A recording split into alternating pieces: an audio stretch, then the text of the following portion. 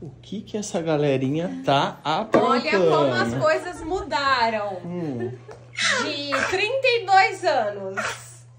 A O vovó vai o Noah tem uma caixinha pra guardar o primeiro corte de cabelo, Ah. a mechinha, o dente. Mostra onde é que tá os meus, mãe. Gui, ô Gui, não, as, as vizinhas antigas da minha mãe Ah. falavam que era bom guardar um umbigo dentro de um livro pra criança ser estudiosa. Ah, é? Eu acho que deu certo, porque olha onde tá o da Isabela até hoje.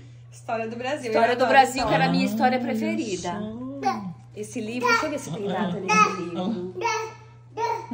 Não, não tem data. Segu- Você Ó, tava no segundo colegial. Eu tava no segundo. Olha aqui. O umbigo da Isabela. Nossa, tem um umbigo ainda? O umbigo da Isabela. e o primeiro, ca- Isso. o primeiro cabelinho dela. Ah, olha lá, filho. Até a cor. É, olha lá, igualzinho do Noah mesmo. Isso aqui, Ai, isso aqui é- era um raminho de dama da noite. Ô, mãe. Ai, não, essas coisas eu não posso te pedir. Aqui, Ah, meu filho. umbigo. Seu umbigo. Ai, aqui. 32 anos, hein? 32 anos, guardadinho. Bem guardado. Só que deixa aqui com o seu neto, viu? Não, É. não, Vai agora, agora Ó, já não vai poder olha lá, mais. olha lá. ó. Olha A gente já agora teve que já- tirar tudo daqui Olha lá, já. ó. Agora já não vai poder Deixa mais. Já aí. tirou tudo. Você vai ver sumir cabelo, sumir tudo. Agora já não pode mais, né, meu amor? Olha lá. É, é, um pode, É. vovó, um pode.